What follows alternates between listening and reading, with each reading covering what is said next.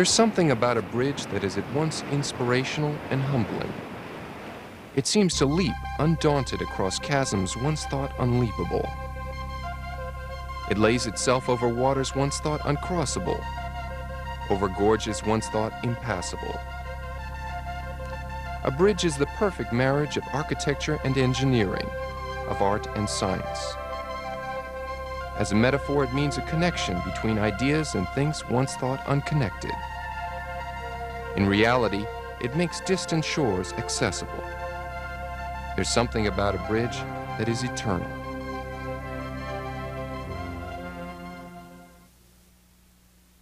The Golden Gate Bridge is the epitome of what a bridge should be.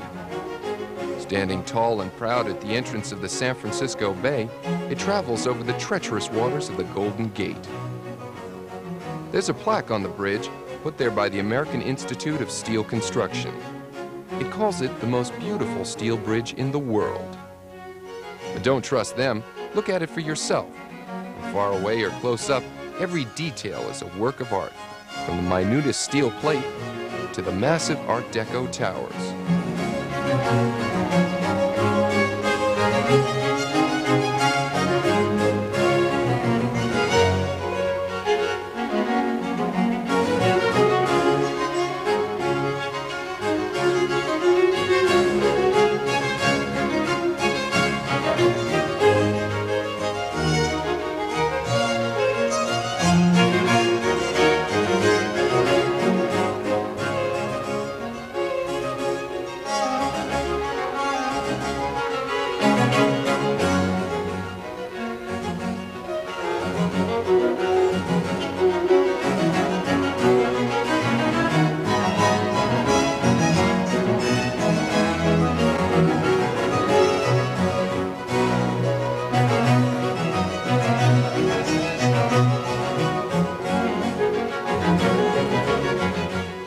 The Golden Gate Bridge is not just beautiful. It is a vital link in a major transportation corridor connecting Northern and Southern California. An average of 97,000 vehicles cross the bridge daily. And at one or two dollars a car, running the bridge is big business.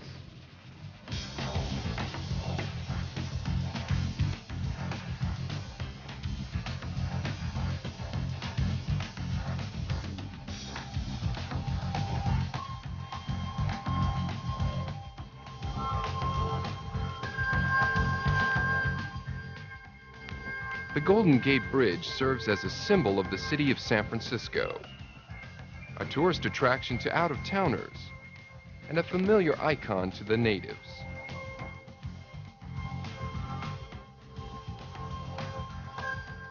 The Golden Gate Bridge is so much a part of Bay Area life that it's hard to believe there once was a time when it did not exist.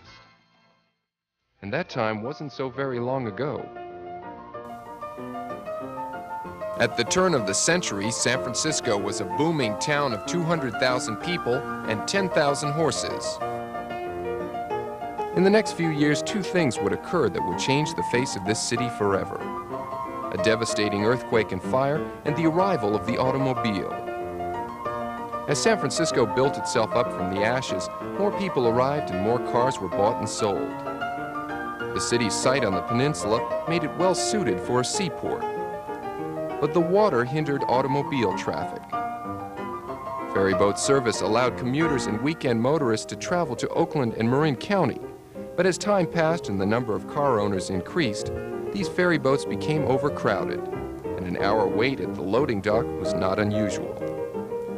In 1916, a San Francisco newspaperman who commuted to San Francisco from Marin began writing a series of articles promoting the idea of a bridge at the water gap between the Lime Point Lighthouse and Fort Scott.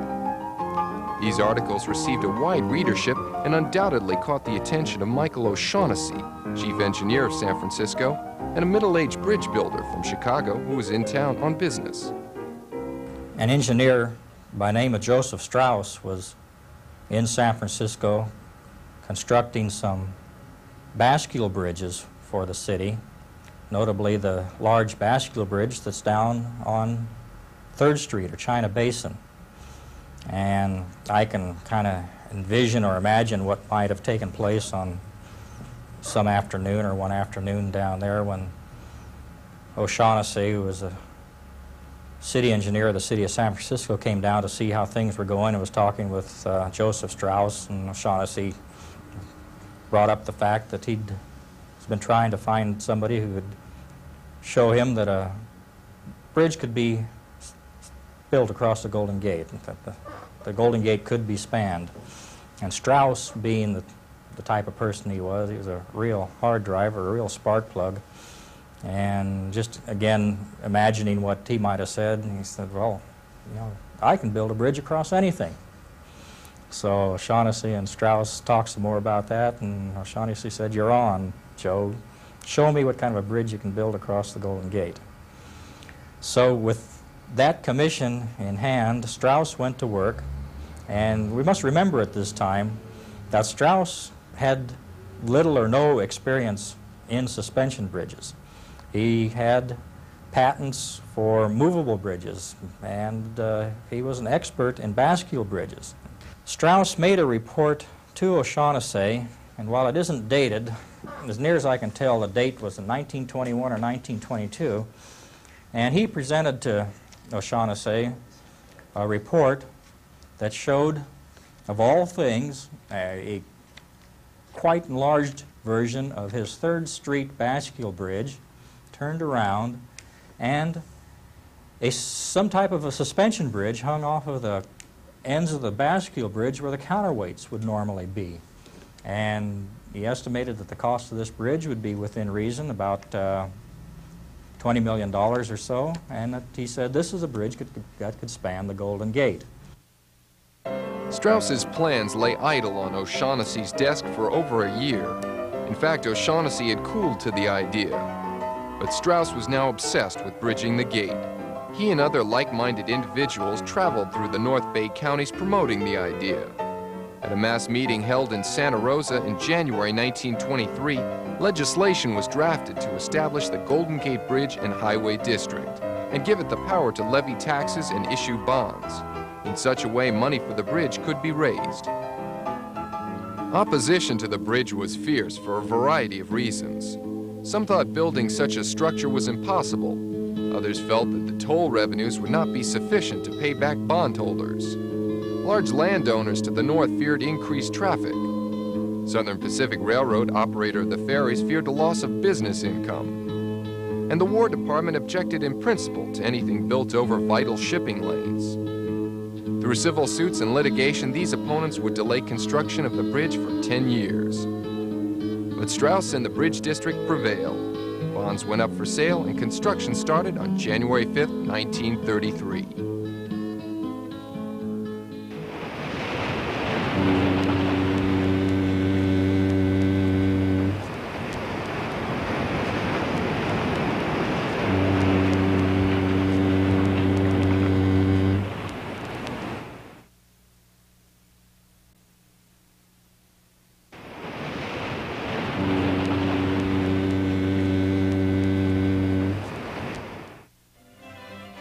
The modern suspension bridge is a feat of engineering genius, and although the form is not new, its design has taken centuries to perfect.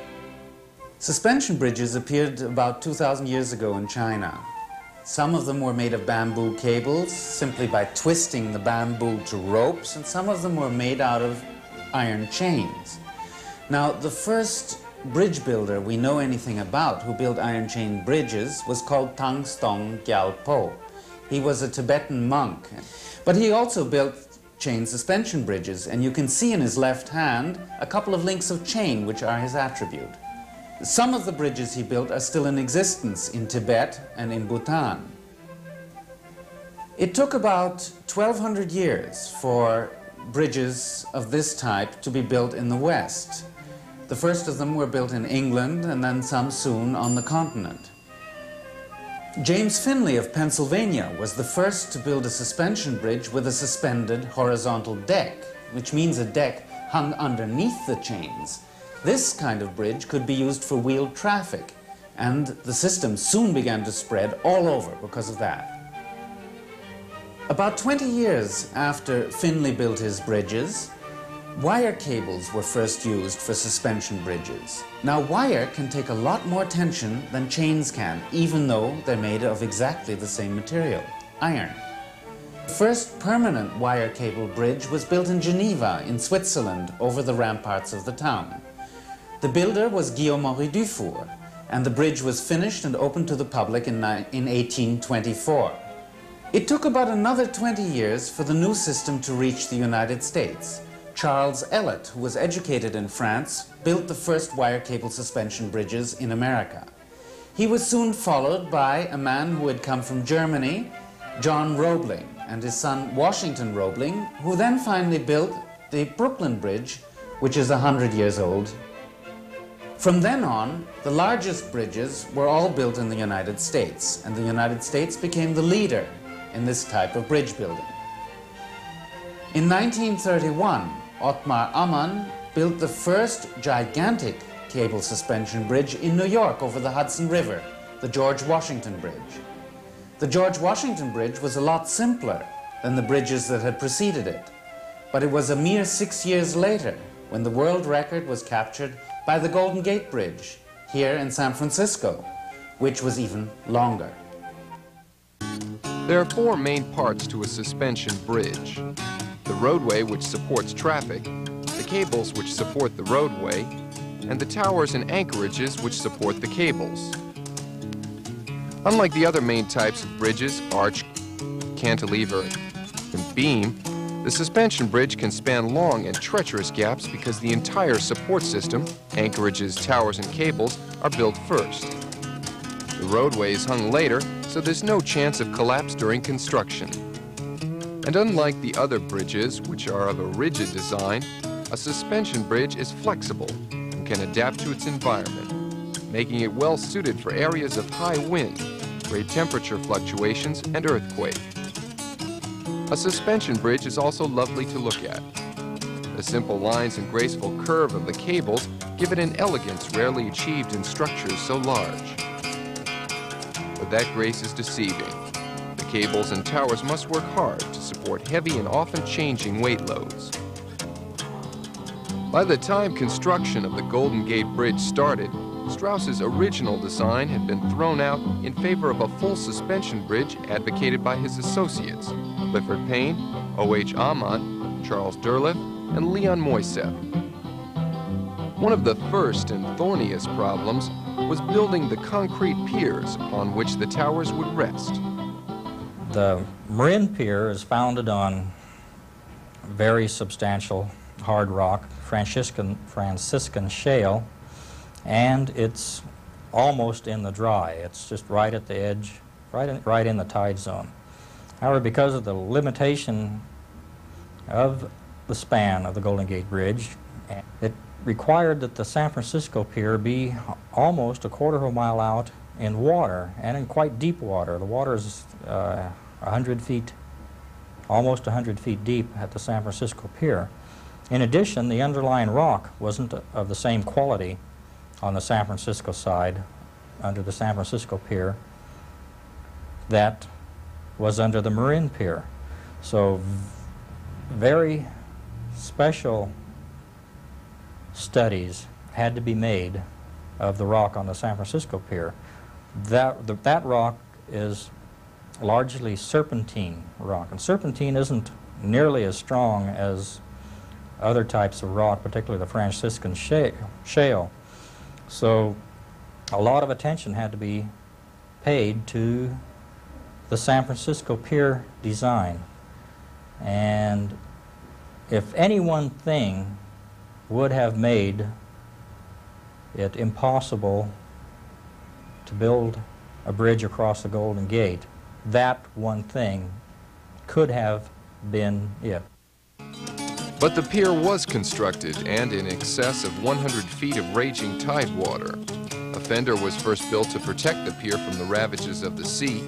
Ground was leveled, wood supports assembled, and concrete poured all underwater.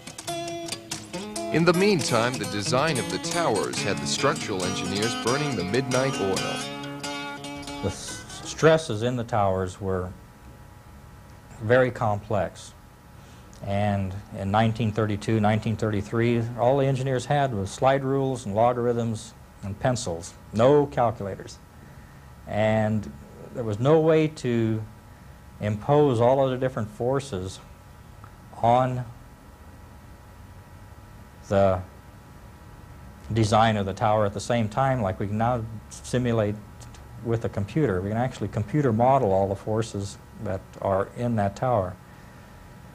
To design the towers, many assumptions had to be made to start out with, and then a series of 29 simultaneous algebraic equations had to be solved. Uh, that meant that it was a series of equations with 28 unknowns that all had to be solved simultaneously for each level or step in the tower. And that must have been some job because it had to be performed many times over. Construction of the Marin Tower began in November of 1933, even before the San Francisco Pier was completed. It was built of steel cells, which, like all of the steel to be used on the bridge, was precast in Pennsylvania shipped via railroad to Alameda, a short barge trip from the construction site. The steel cells were hauled from the barges to the top of the rising tower by a derrick, which could be raised as the tower proceeded skyward. Upon completion of the San Francisco Pier, construction of its tower began immediately and was finished in the summer of 1935, nine and a half months after the Marin Tower. The gate was ready to be bridged. The first structures to actually span the gate were two footbridges, built to give the workmen access to the main cables during their construction.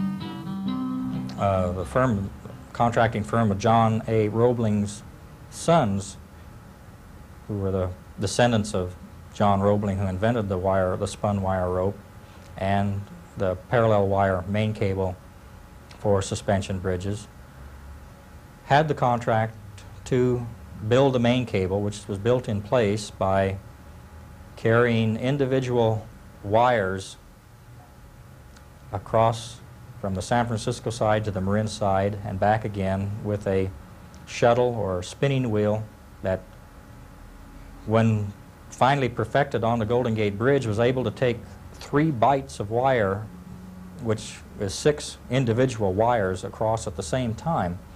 Well, once the main cable was constructed or spun.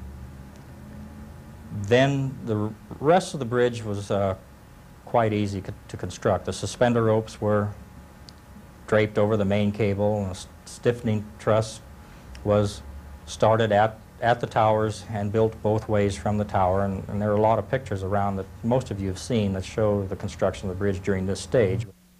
One day I was on the backspan when they were just building the catwalks and the rails weren't on, just the parts of the catwalk was on, and pretty soon the wind came up and the catwalk started to move up and down. So heck, I just got my safety belt and tied on to one of the cables there to make sure that I wouldn't go off. Figured, well, if anything happened, I'll still be up here. I had never worked on a bridge before. I used to be a commercial electrician or a residential, either one, and, but I had never worked on any bridges before. It just, this just happened to be a job those days there was hundreds of men out of work and you were lucky to have a job.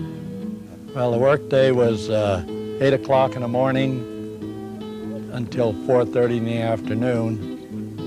And uh, of course, at 8 o'clock you'd go there. Then we used to have to climb inside the towers to get up to the top. And uh, then we, at nighttime, we'd leave at 4.30. It used to take us about a half hour to go up in the morning and about 15 or 20 minutes coming down at night because you'd kind of slide down the steel ladders. And we were getting a, a large pay of $9 a day.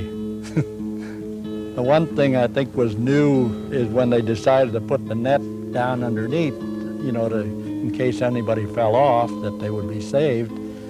So I guess it did save quite a few of them that fell into the net, except the day that the catwalk broke. Well, I was working on the catwalk, and somebody says the catwalk is falling. So, heck, I jumped up on the main cable, and somebody says, no, the net broke.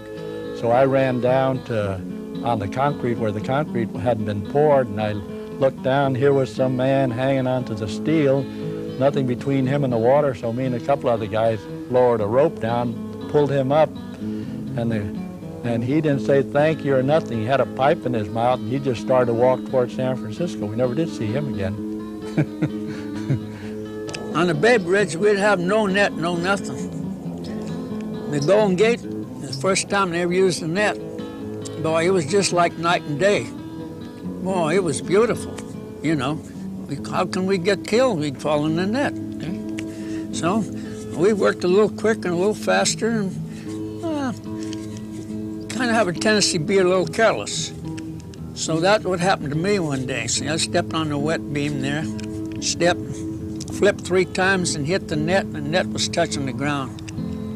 I cracked four vertebrae. It was in St. Luke's Hospital, 12 weeks, and all the boys come out. In the meantime, while I was there, all the rest, there's about eight of us, eight of us that time. I was the third that fell. Eight. They come over. We formed the Halfway to Hell Club right there at St. Luke's Hospital. And they, I couldn't get out there, so they all come.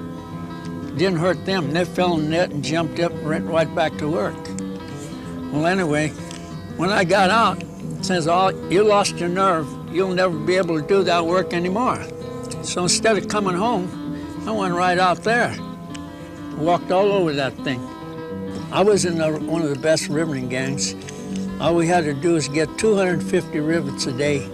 We'd get 400, 450. It was a rough, tough job. Cold, wet, windy. Man, you'd freeze, freeze almost cold to death, keep working. But then you had to have the stamina. You had to love it. I loved to do it anyway. You had to love to do it, otherwise you couldn't do. It